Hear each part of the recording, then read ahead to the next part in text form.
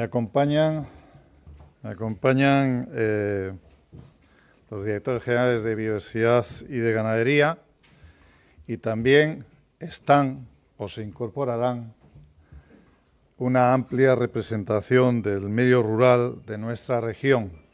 Y digo que se incorporarán porque ustedes saben que está habiendo problemas en la autovía en diferentes lugares, atascos por accidentes o alcances y algunos de ellos se irán incorporando, pero han confirmado y se incorporarán o se incorporarán las cuatro organizaciones profesionales agrarias, UPA, AIGASA, SAJA y UAN, con sus secretarios generales, algunos de los cuales acabo de saludar y otros, digo, se incorporarán, las tres cooperativas agrarias de Cantabria, Ruiseñada, Valles Unidos de la Son y Agrocantabria, AFCA, la Asociación de Frisona de Cantabria, la Federación de Razas Cárnicas, eh, vacuno, eh, la raza vaca pasiega, eh, la Asociación Hispano-Bretona, es decir, el equino y el, y, el vacuno también de Mochina, Asocán y Ovicán, es decir, asociaciones de cabras y ovejas, y por parte de la representación pública también la Federación de Municipios de Cantabria, su presidente y su vicepresidente, que no han llegado, pero han confirmado que llegarán, Pablo Diestro y Jaime Soto, la Red Cántabra de Desarrollo Rural y los cinco grupos de acción local de Cantabria, Asón Agüera, Valles Pasiegos, Gal Campo Los Valles y Sajanansa. En definitiva, como digo, una gran representación, están los que siempre están, que son los representantes de los ganaderos de Cantabria y además se suman a esta convocatoria de rueda de prensa representantes públicos, alcaldes eh, y representantes de los grupos de acción local de Cantabria. Bien, en primer lugar, mostrar el respeto del Gobierno de Cantabria y el mío personal a la acción de la justicia, en todo lugar. Los autos del pasado martes no entran al fondo del asunto y, por tanto, el Tribunal Superior de Justicia de Cantabria no ha dictado sentencia sobre la demanda presentada por Astel. En la medida cautelar acordada, el Tribunal se refiere única y exclusivamente a las resoluciones publicadas en el boletín el 9 de septiembre que contemplan la extracción de lobos.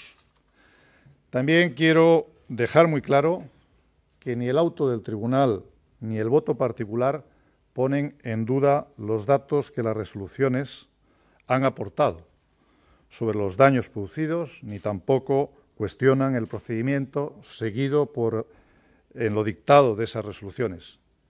Y esto lo quiero decir por respeto y reconocimiento público del trabajo de los técnicos y de los agentes del medio natural de la Consejería que ningún tribunal ha puesto en duda, por mucho que algunos quieran descalificar su trabajo o amedrentarles para que no lo hagan.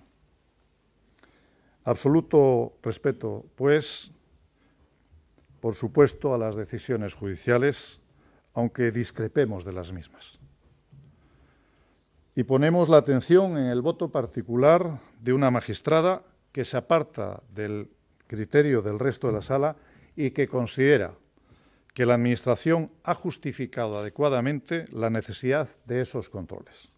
Estamos absolutamente convencidos de que los controles que se habían previsto son necesarios y justificados y que la imposibilidad de aplicar medidas preventivas eficaces en la ganadería extensiva está argumentada en las resoluciones dictadas en junio, como señala el voto particular de la magistrada que se aparta del parecer mayoritario.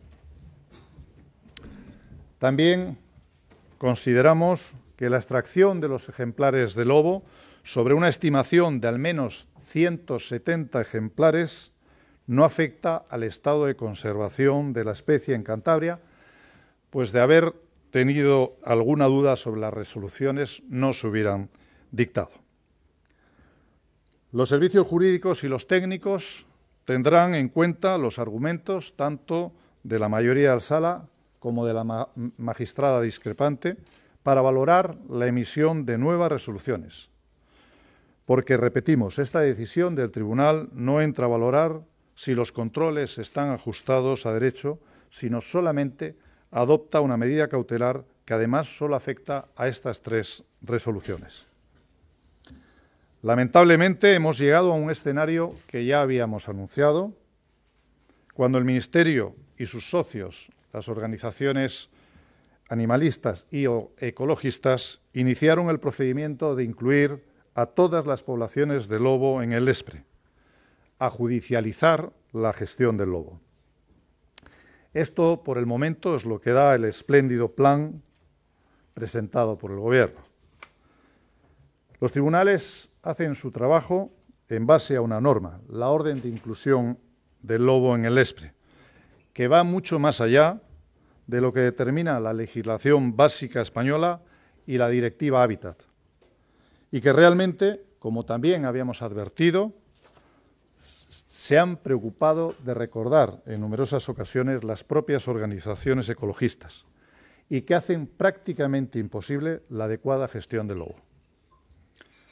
Gestión con la que en Cantabria habíamos conseguido una paz social necesaria, pieza clave para asegurar la coexistencia entre el lobo y la ganadería y los ganaderos, eso que la palabrería ministerial pretende defender pero que con sus hechos demuestran absolutamente lo contrario.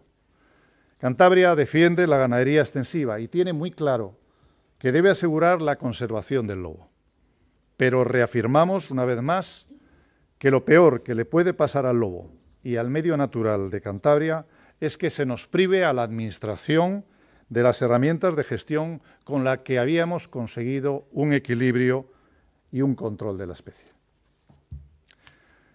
Desgraciadamente, nuestra crítica a la ministra, a la ministra Rivera, y a sus actuaciones, tenemos que extenderla al ministro Planas, ministro de los Ganaderos.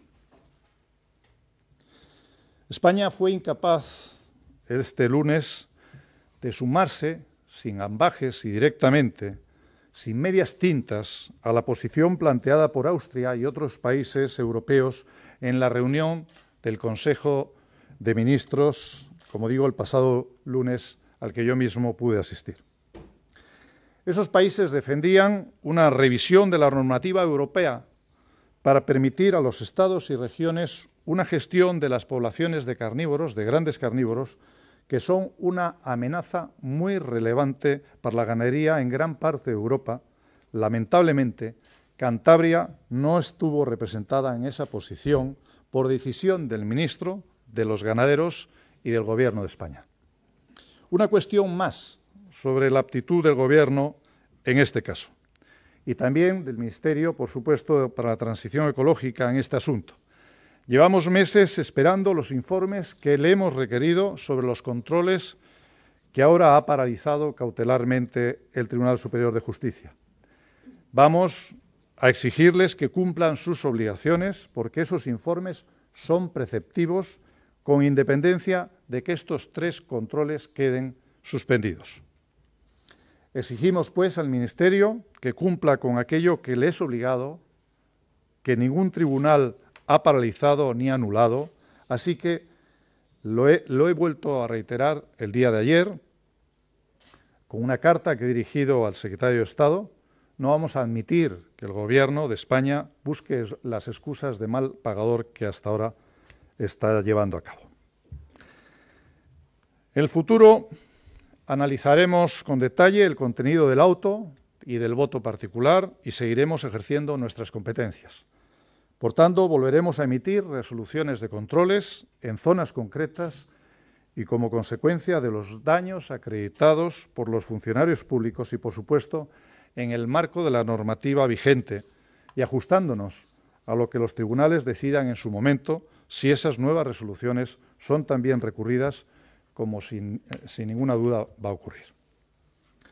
Que tengan muy claro esas organizaciones que a nosotros no nos va a asustar las amenazas con los tribunales. Para nosotros y para cualquier gente de bien, los tribunales no son una amenaza, al contrario, son una garantía. La gestión del lobo en regiones como Cantabria, en las que la ganadería extensiva es fundamental por tantas razones conocidas, exige los controles de ejemplares. Así se hace en el resto de Europa y así lo veníamos haciendo desde el convencimiento de nuestra obligación de asegurar la conservación de la especie y así lo hemos de seguir haciendo. Seguiremos desarrollando nuestro plan de gestión en todo lo que no se oponga al marco legal impuesto por el Gobierno de España hasta que ese marco legal sea anulado por los tribunales o por un nuevo Gobierno.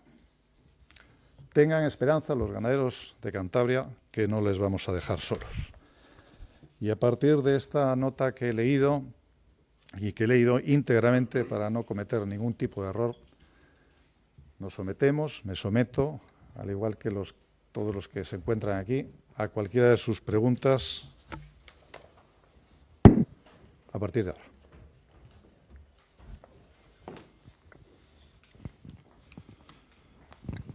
Bueno, advertir también que se han ido incorporando, como, como decía al principio, eh, integrantes ya anunciados que iban a acompañarnos y que por distintos motivos de circulación no habían llegado a tiempo.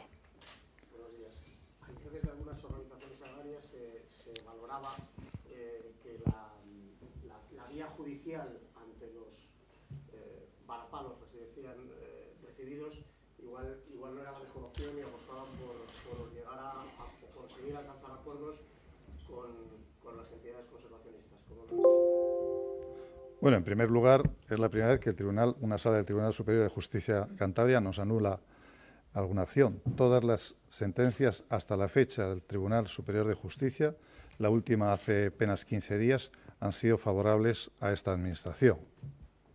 Barpalos, ninguno.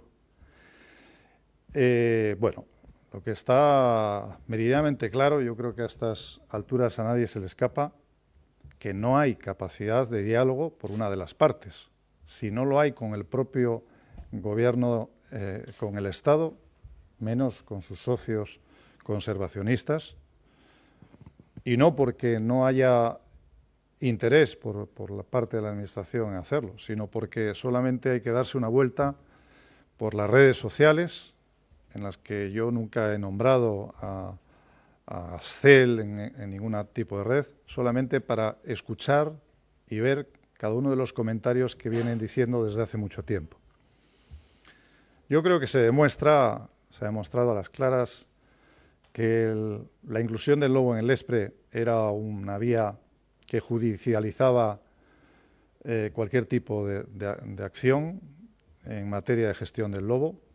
Las pruebas, eh, las pruebas están ahí, no por esta última sentencia, sino por las sentencias sucesivas. Y recuerdo que hace tan solo 15 días eh, la sala, con el voto particular efectivamente del presidente, no, no, no paralizaba eh, nuestras, eh, nuestras propuestas de, de, control, las nueve, las diez. Diez. O sea que ha sido ahora cuando, repito, además con un voto, un voto discrepante muy interesante que hay que leer, el que, por supuesto, se justifica todas y cada una de, las acciones que la Administración ha pretendido hacer. Repito, es, llegando al grano, muy improbable que, que Astel, que es el denunciante, mm, crea que la herramienta de control poblacional sea una, una posibilidad. No, ellos no quieren control letal del lobo, en ningún caso y a la vista está que el Ministerio tampoco lo, cree. Por cierto, no sé si en los próximos días, a tenor de lo que dices, no sé si en los próximos días el Ministerio dará, algún informe o alguna autorización, como algún medio de comunicación ha dado, en regiones, en regiones vecinas. Hasta la fecha no. No ha habido ni un solo informe todavía del Ministerio, no ha salido. Y hablo de Asturias. Ayer no, no tenían informe todavía. Que se lo den, no lo sé. Nosotros venimos reclamando informes desde hace meses, no estamos teniendo informes ni contestación a esos informes. Sí, entiendo que la Consejería entonces va a dictar nuevas resoluciones para extracción de lobos en otras zonas. Eh, no sé si nos puede decir ya cuándo se va a hacer, si lo tienen ya preparado, en qué puntos puede ser. Bueno, el, Gobierno, la Consejería, lo que va a hacer es un estudio, como eh, repito, de, estos autos, de todos y cada uno de, los, escritos, incluido, por supuesto, el, el discrepante, el voto discrepante, pero y, estudiará tanto técnica como jurídicamente la posibilidad de seguir informando para hacer nuevas, nuevas resoluciones, efectivamente. Pero eh, abundando en, en, los lugares donde, donde harían falta. Yo solamente quiero darles un dato, un dato para que cada uno tome conciencia si efectivamente son necesarias esas resoluciones o no. Desde el mes de septiembre, el 26 de septiembre, en que el lobo llega al ESPRE, el día que se rompe la paz social en la gestión del lobo en Cantabria, eso es algo indiscutible, ese día se rompe la paz social, ya se veía, venía viniendo, pero ese día que se incluye el lobo en el ESPRE, hasta la fecha, no de hoy, sino los próximos diez meses, es decir, ahora estaríamos haciendo el año, pero los datos que tenemos son los certificados por los agentes, los dados cuenta, los que han llegado a la consejería. Eh, quien tiene una pérdida de un, de un animal tiene un tiempo para dar cuenta de ello. Es decir, lo que creemos que son los primeros diez meses de la entrada en vigor del lobo en el ESPRE dan un resultado de 941 ataques. repito, pónganse en el mes de julio de este año, unos 10 meses. Total reses muertas en esos ataques, 1.350. Reses heridas, 86. De las reses heridas hay que contar que algunas, ¿eh? Eh, algunas que son medio comidas en vivo, a cabo de unos días mueren. Con lo cual, de esas reses heridas prácticamente habrá un porcentaje que ya no son reses heridas, sino muertas también. Repito, 1.350, y especifico, ovino, ovejas, 497 muertas y 30 heridas. Equino, potros, 384 muertas y 41 heridas. Terneros, vacas, bovino, 310 muertas y 12 heridas. Cabras, 155 muertas y 3 heridas. Y Asnal, burros, 4 muertos. Ese es el resultado del espléndido, estupendo plan en el que nos ha metido el Gobierno de España. 1.350 en 10 meses. A esto le podemos sumar un 10 o un 15% más para completar el año y ese es el resultado. ¿Hacen falta controles? Obviamente obviamente. Sí, consejero, usted acaba de decir que a los ganaderos no les va a dejar solos. Al final, si no cambia la ley que hay en estos momentos, una ley estatal, el gobierno de Cantabria se situaría fuera de la ley y usted estaría incluso fuera de la ley. ¿No, ¿No teme esa situación? Vamos a ver. Yo, que, yo no dejo a, a los ganaderos solos porque yo soy ganadero. Yo soy uno de ellos. Soy uno de ellos. Puedo estar aquí o ahí dos metros por detrás. Obviamente, eso creo que lo he demostrado. Vamos a estudiar los autos. Lo van a estudiar nuestros técnicos, lo van a estudiar los jurídicos, como habían estudiado hasta ahora eh, la situación para conformar informes. Los informes no los hacemos este señor ni yo, los hacen nuestros técnicos, nuestros jurídicos. Lo estudiaremos. Creemos que hay por supuesto, motivos suficientes para justificar daños recurrentes, importantes, graves, graves, y que justifican además la imposibilidad de las medidas que en algunas ocasiones eh, se nos exigen o se nos ponen como condición. Repito, estos autos son sobre eh, eh, estos autos son sobre las medidas cautelares, no sobre el fondo. No ha contestado al recurso de Ascel sobre las adjudicaciones. Ha contestado a la medida de parón cautelar, la preventiva. Sí. Eh, ha comentado que, bueno, que esta seguirá siendo su, postura, ajustándose al marco legal actualmente existente, hasta que ese marco legal cambie, o ha dicho también, o que cambie el gobierno. Eh, ustedes forman parte de un gobierno en coalición con el PSOE, que es el partido que a nivel nacional eh, desarrolla ese, marco legal o ha, impulsado ese marco legal con otro socio de, gobierno. Eh, ¿Qué consecuencias puede tener eso en su relación con su socio de, gobierno? Y más teniendo en cuenta que estamos en un periodo ya cerca de ser preelectoral. Mire, yo lo he repetido en numerosas ocasiones. Acabo de salir del Consejo de Gobierno Posteriormente comparecerá aquí el vicepresidente y portavoz del Gobierno. No, ha habido nunca una discrepancia al respecto, nunca. Nunca ha habido una discrepancia sobre la postura que este consejero y, el presidente, en primer lugar el presidente, han tomado respecto con contundencia, como ustedes saben, respecto a ponernos a la inclusión del lobo en el ESPRE y todo lo demás, incluida eh, nuestro recurso ante la Audiencia Nacional junto a tres comunidades autónomas más. Nunca ha habido una discrepancia por parte de los socios de gobierno, hablo del Consejo de Gobierno. En el Parlamento de Cantabria también ha habido unanimidad, más allá de que ahora estemos en la, berrea eh, próxima a las elecciones y empiecen a escucharse voces discordantes, bueno, que piden, que ahora qué, qué estamos haciendo, bueno, pues estamos haciendo lo que podemos, pero más allá de, eso siempre ha habido una unanimidad y repito, salvo un diputado del Partido Socialista, que efectivamente siempre se ha mostrado contrario.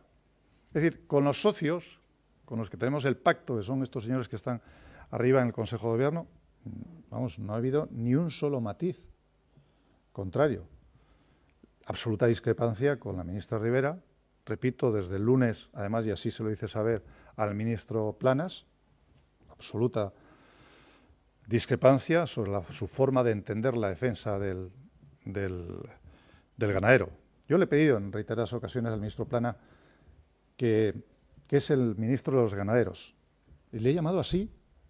Pone ministro de Agricultura, Pesca y Alimentación, pero también de ganadería.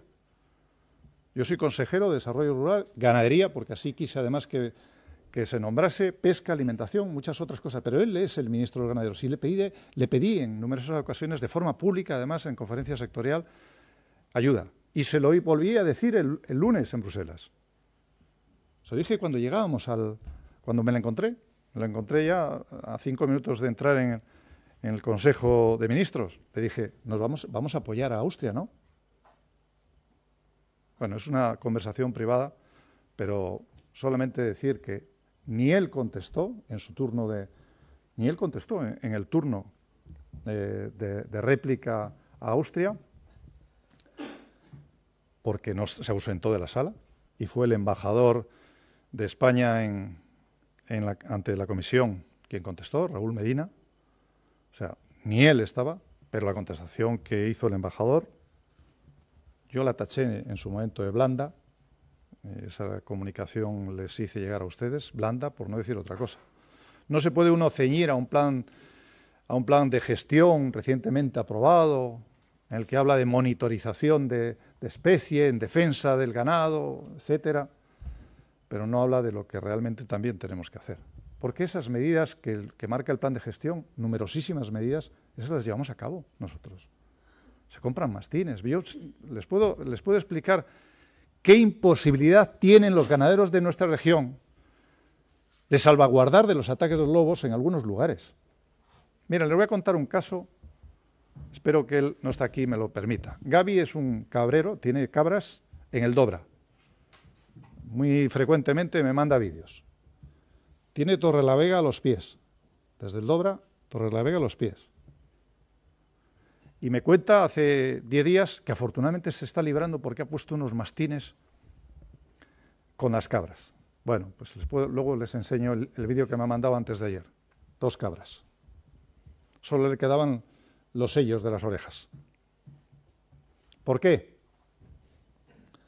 Porque uno y les voy a poner, aquí está la Asociación de, Caballos de Hispanobretón, Manadas, representada, está también Monchinos.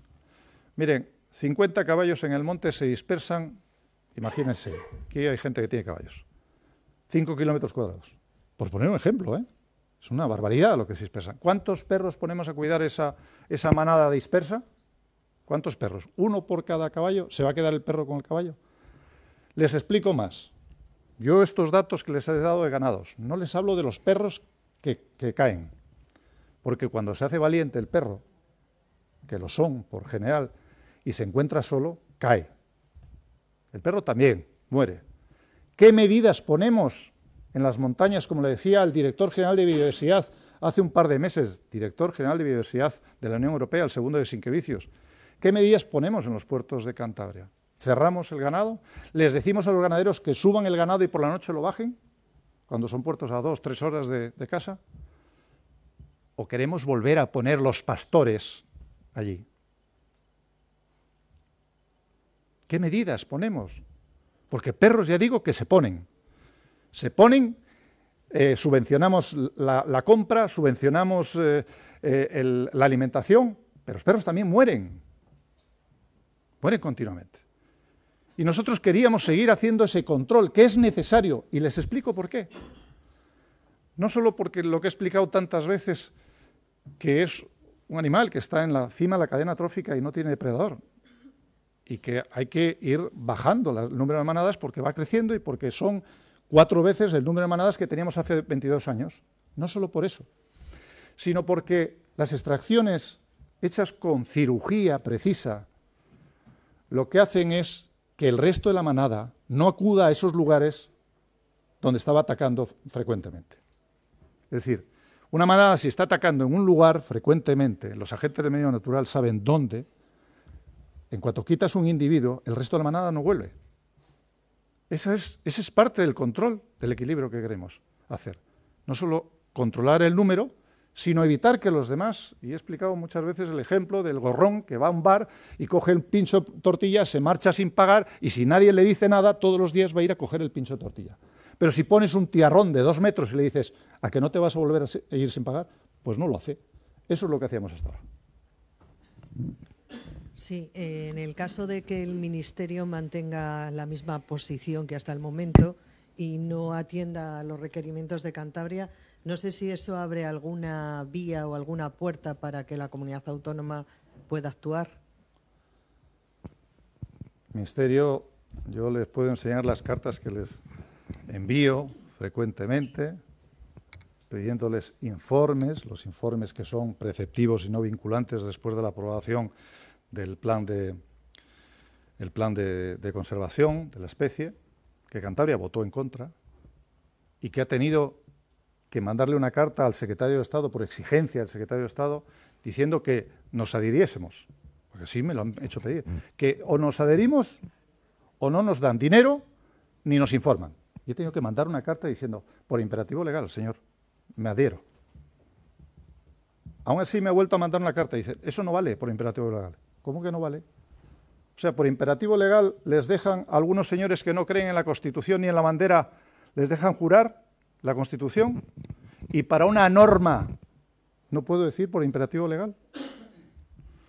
No, no quieren, no quieren. No, no quieren hacer controles. No quieren porque defraudarían a sus socios. Y yo creo que, como le decíamos hace poco, las cuatro comunidades al, al comisario Sinquevicius, el problema del lobo se tiene que regionalizar y nos tienen que dar, volver a dar las competencias a las regiones. El lobo no está en decadencia en Cantabria, en Asturias, en Castilla y León y en Galicia. Quizá en España falten lobos. Como he dicho tantas veces, que me digan dónde enviárselos. Pero no, no hay un plan de reintroducción de la especie, con lo cual no se pueden llevar a ninguna parte, que no digan mentiras. Y un lobo no le puedes tener enjaulado para quitarle de un sitio. No, hay que hacer control. Y si no, que se los lleven a otra parte. Que se lleven a esas comunidades que votaron a favor de ese plan y que no tienen lobos, ni pueden tenerlos, ni en las Canarias, ni en Baleares, ni en muchos otros lugares. Pero a nosotros nos sobran lobos. Nos sobran lobos y cada vez nos sobran menos ganaderos y menos ganado. Y si seguimos así, menos va a haber. Porque la gente no cría el ganado para que se lo maten como alimento los lobos. Y necesitamos controlarlo. porque nuestros montes necesitan el ganado y nuestros ganaderos viven de ello, no son turistas. Nosotros vamos a defender a los ganaderos y a su ganado. Lo tenemos que hacer. Es nuestra obligación, lo llevamos en la genética. En Cantabria tenemos que defender al ganado. No queremos acabar con los lobos, pero tenemos que controlarlo. Y pobre del animal, lo digo así de claro. Se lo dije a la ministra, flaco favor le hacéis a la especie. Porque allí donde lo prohibieron, Portugal, no quedan lobos. El otro día, si me permiten, que es un dato muy importante. El otro día en Europa, que se dilucidan todas estas cosas, que no es una justificación que Europa esté ahora administrada por, por el verde de los lituanos, no. Porque, como él mismo dice, los territorios, los Estados miembros pueden marcar normas más blandas o más duras. El otro día Austria, cuando presentaba, hubo hasta 15 países. Se me ha olvidado decir que fui a felicitar al, ministro austriaco, por supuesto, le agradecí y le dije que hoy, allí, allí mismo, me sentía representado por Austria. Una pena, ¿eh?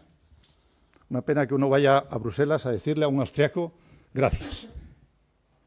Y que al ministro le tengas que decir, pero hombre, no, es que como esto es, esta es una postura del Estado español. Digo, bueno, pero no de Cantabria, no de las regiones que tenemos luego. Y a esa propuesta de Austria se sumaron al menos 12 países, intervinieron 15, entre ellos España. Y al menos 12 hablaron de los grandes problemas que está habiendo en, en diferentes zonas de Europa. Pero claro, los Estados miembros somos soberanos para aplicar normas. Por eso, la Audiencia Nacional nos tendrá que dar la razón, espero, espero y yo confío, y si no tendremos que cambiar este gobierno lo antes posible.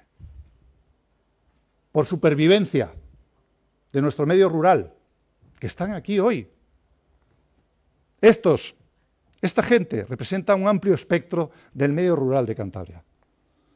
Y a los ganaderos. Antes, el, otro día me preguntaban, no he dicho nada, eh, qué tal nos encontrábamos el director general y yo después de esa querella que nos ha presentado eh, esta asociación.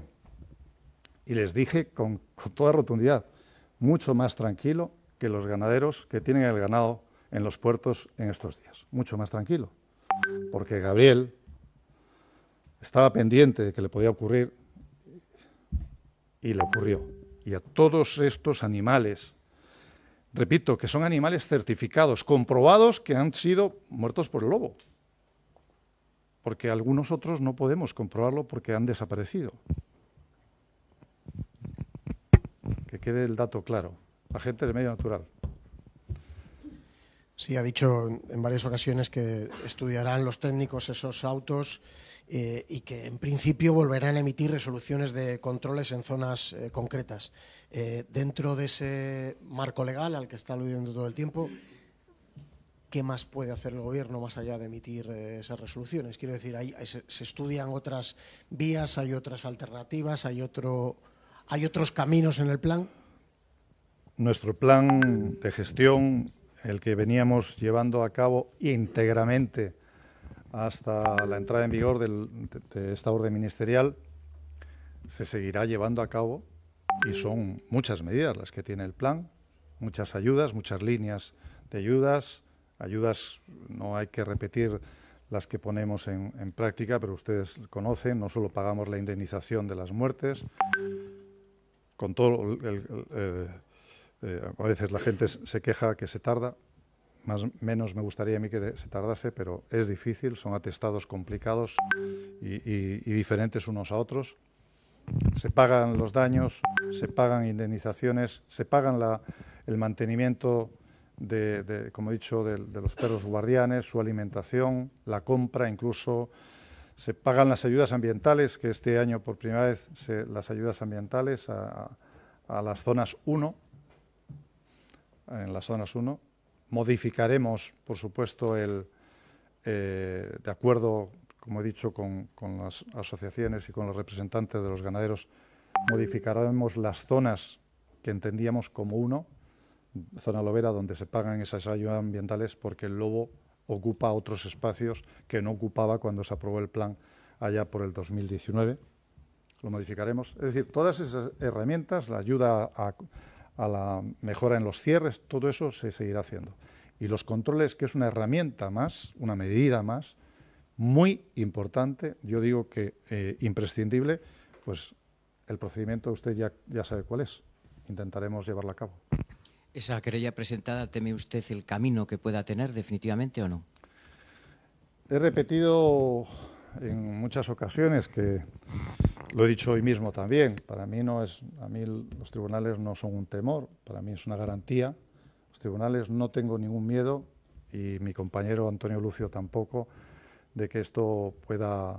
Yo estoy tranquilo. Creo que hemos hecho lo que creíamos, siempre con los informes eh, técnicos y jurídicos pertinentes.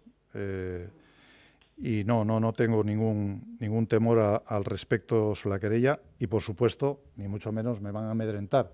Pues ya repito, esas mismas asociaciones lo que intentan hacer con cada uno de esos eh, de esas actuaciones en redes sociales es pues amedrentar a los funcionarios. Sí, sí. Es lo que intentan, meter miedo en el cuerpo. No, a mí no, no me lo meten. Y si, bueno, si un día deciden que tengo que dejar esto por, sentencia, miré tranquilo también, porque uno duerme tranquilo cuando hace lo que cree que debe y cuando además cree que se ajusta a la ley, porque yo conduzco por la autovía por la derecha. Y, los, y, he, repetido antes, y los tribunales creo que están obligados a interpretar una orden ministerial donde nos ha metido el, Estado. Esto no ocurría antes de septiembre del, antes de septiembre del, 2000, eh, del 2021 hubo muchísimas recursos por parte de, los, de Astel y de otras asociaciones ecologistas, ninguna prosperó.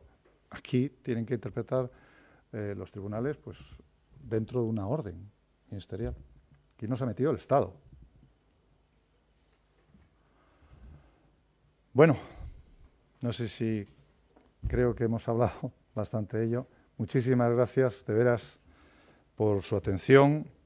Gracias a todos los que hoy nos acompañan. Aprovecho para agradecerles públicamente, recientemente y, a tenor de ese recurso, gran parte del sector se manifestó públicamente y ustedes lo recogieron en los medios de comunicación a favor de este servidor y de su director general y quiero agradecérselo delante de ustedes a ellos en su presencia. Muchas gracias. Gracias por venir aquí.